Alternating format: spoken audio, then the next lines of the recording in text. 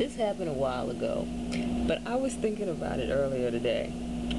One day, I was walking to the super supermarket, going to get some food or whatever, and there's this little kind of out of the way dead end type street en route there, and you never really see too many cars parked there and I seen this little SUV that was like parked over there. Like it seemed like maybe they could have been lost or something looking for directions. I mean you know people would park there to just look around. I mean it seemed strange. So I walked up to the car because I was being nosy. I don't know why. I mean it was really stupid of me.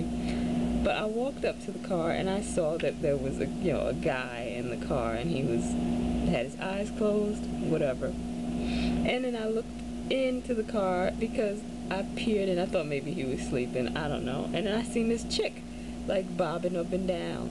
And then I came to the realization that, you know, she was blowing him. And then I looked around and I could see that, you know, that was probably his girlfriend because there was a picture of her in the car also.